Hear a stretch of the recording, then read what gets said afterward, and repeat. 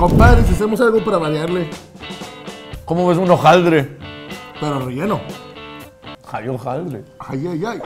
Ay, Miguel, compadrito, la preparación de esta receta va a estar bastante sencilla. Lo primero va a ser sacar nuestra rechera de frontera carne parrillera del paquete, cortar en cuadritos y pasarla a un sartén y hacerlo vaciado. Es correcto, este sartén lo, lo vamos a calentar previamente, lo ponemos la recherita y le vamos a agregar pimientos, compadre. Pimientos cortaditos también en cuadros y poquito cebolla, Poquito cebolla, revolvemos, revolvemos. Despuésito, compadre, ponemos los champiñones que vamos a trozar con la mano sencillamente.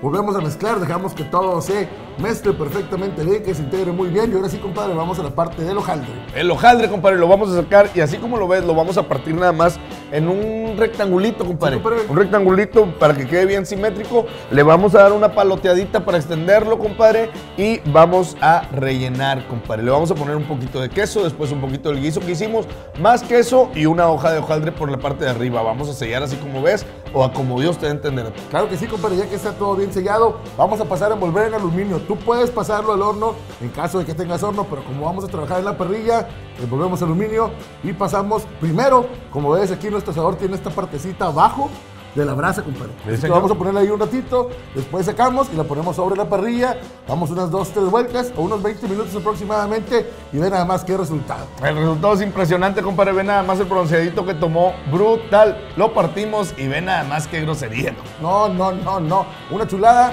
listos para probar. Compadrito Sefi. Una chulada, compadre, esta receta diferente, pero súper, súper llamativa. Y por supuesto, compadre, haznos el honor de Con probar perma, esta mira chulada. nomás, mira.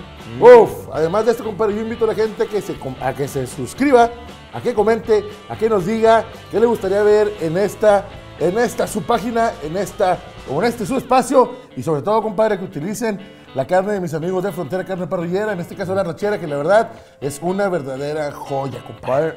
Sabe muy mamón. Pero bastante, bastante. Chulada, compadre, pues no queda más nada que decir, compadre. No queda más decir que repetir, compadre, que esta receta quedó muy, Muy mamona. mamona.